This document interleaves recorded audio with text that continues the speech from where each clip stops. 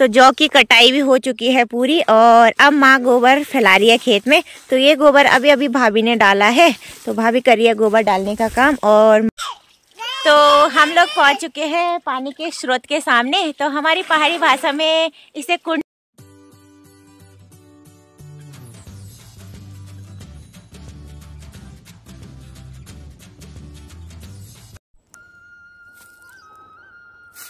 सबसे पहले आप सभी को मेरा प्यार भरा परिणाम। मैं ज्योति नेगी, स्वागत करती हूँ आप सभी का देवभूमि उत्तराखंड के पौड़ी गढ़वाल में, मेरे छोटे से गाँव, रौली गाँव से। तो आज के ब्लॉग की शुरुआत हो चुकी है खूबसूरत से सवेरे के साथ और अभी हो रहा है टाइम सुबह के साढ़े नौ बज चुके हैं और अभी आए हुए हम अपने खेतों में जौ की लवाई करने। तो आजकल हमारे यहाँ जौ कट रहे हैं खेतों में और जौ भी पक चुके हैं, जैसा कि चैत का महीना ख़त्म हो चुका है। और बैसाख का महीना स्टार्ट हो गया है। तो बैसाख के महीने में हमारे पहाड़ों में गेहूँ और जौ की लवाई का काम शुरू हो जाता है। तो हम अपने खेत में भी आ चुके हैं और मैं और माँ आई है मेरे साथ। तो माँ ने तो शुरू भी कर दिया है जौ की लवाई करना तो जौ की बालियाँ रखने के लिए माँ ये देख सकते हैं, छोटा सा बर्तन लेके आई है और इसे हमारी पहाड़ी भाषा में ओड़गो बोला जाता है। तो इस साल देख सकते हैं छोटे छोटे जौ हो रहे हैं खेतों में। तो बारिश ना होने की वजह से ये देख सकते हैं, इतने छोटे छोटे जौ रखे हैं खेतों में। तो इसलिए हम बड़ा बर्तन नहीं लेके आए, छोटा सा ही लेके आए हैं। और माँ देख सकते हैं, दोनों काम साथ में करी है, जो कि लवाई भी और साथ साथ में खेत को खाली भी करी है, घास भी काट रही है। तो जौ के घास को हमारी पहाड़ी भाषा में चिलो बोला जाता है, और ये बहुत मीठी होती है, और इसको गाय भैंस को चारे के रूप में दिया जाता है हमारे पहाड़ों में। और ये है मेरी दराती तो अब मैं भी शुरू करती हूँ माँ के साथ जौ की लवाई का काम करना। और जल्दी जल्दी कर लेते हैं काम ख़त्म, और फिर धूप भी होने वाली है। थोड़ी देर में तेज़ धूप लगती है हमारे पहाड़ों में तो फिर घर चले जाएँगे।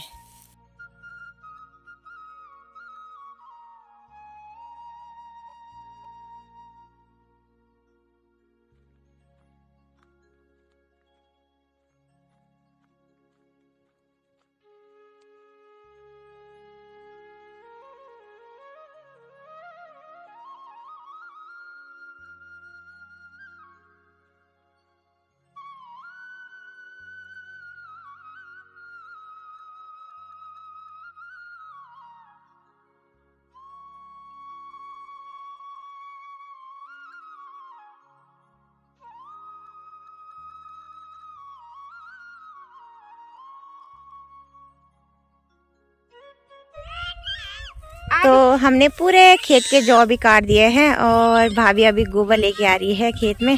तो अब इसमें गोबर डालेंगे और परसों इस खेत में हम झंगोरा बोएँगे। तो आज भाभी गोबर फेंक देगी। तो पूरा खेत खाली कर दिया है हमने।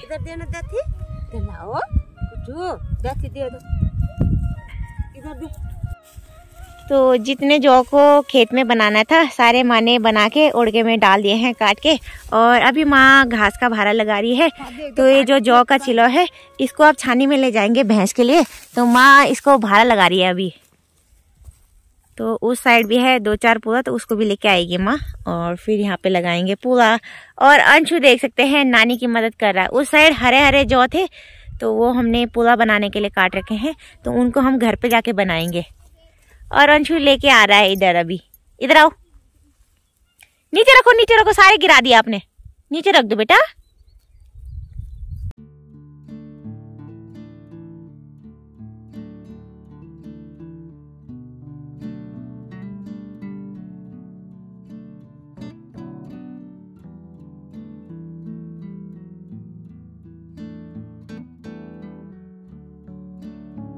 माँ गोबर फैला रही है खेत में तो ये गोबर अभी अभी भाभी ने डाला है।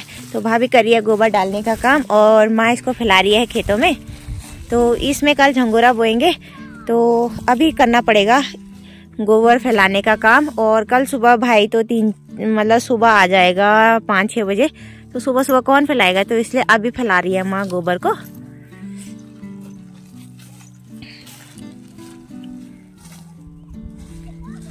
आ, ये बिल्कुल पत्ते वाला गोबर है। आधा गोबर आधा पत्ते बुनास के पत्तों के साथ मिला के इसको अच्छे से फैला रहे हैं खेत में।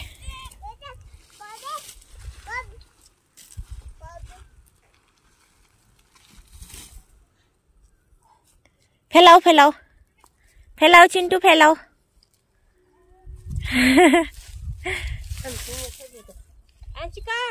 फैलाओ अंची इसको फैलाओ गोबर। इधर आ।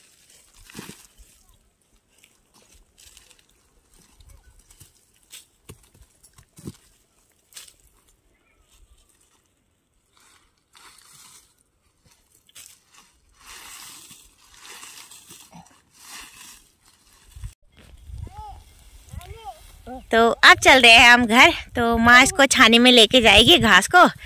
अंशिका हाई कर रही है, हैं? है अंशिका?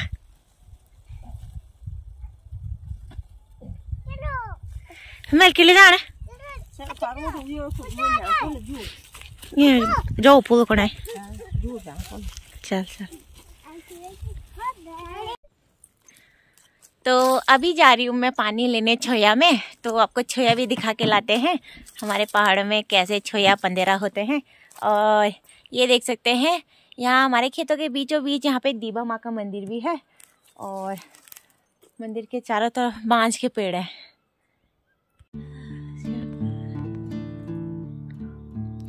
तो काफ़ी टाइम से कोई नहीं आया शायद मंदिर में। तो यहाँ पे बांझ के पत्ते हो रहे हैं पूरे मंदिर के आँगन में।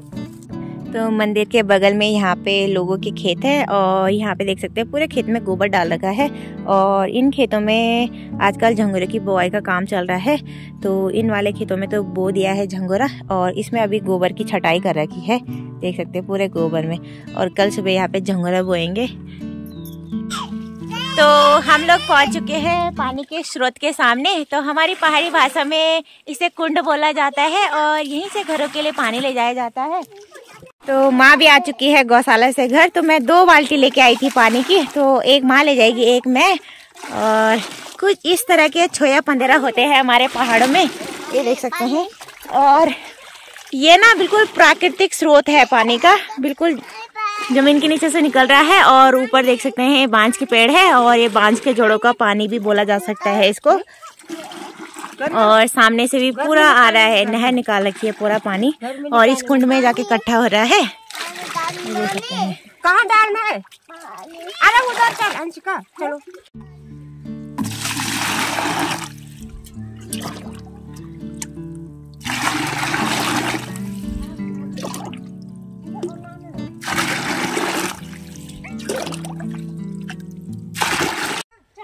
और इस स्रोत के पानी की एक बहुत ही खास बात है, यहाँ पे गर्मियों में पानी ठंडा रहता है और ठंडियों में पानी गर्म रहता है, ये खास बात है यहाँ के पानी की। और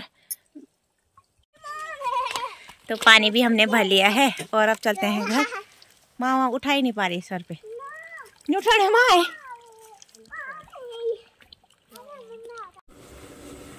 तो माँ ने डिनर बनाना भी शुरू कर दिया है। तो सामने तौर पे रोटियाँ बन रही है और इस वाली कढ़ाई में बन रही है आलू और मटर की सब्ज़ी। और इस कुकर में बना रखा है मटन। और सामने पहाड़ी चूल्हे पे भैंस के लिए पिंडा उबल रहा है। तो कल सुबह न्यार के लिए पिंडा उबाल रहे हैं चूल्हे पे। तो चिमटो।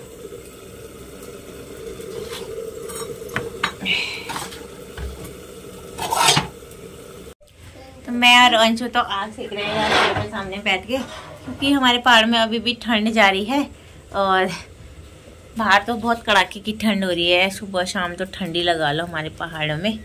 और इस ब्लॉग को भी यहीं पे समाप्त कर देते हैं।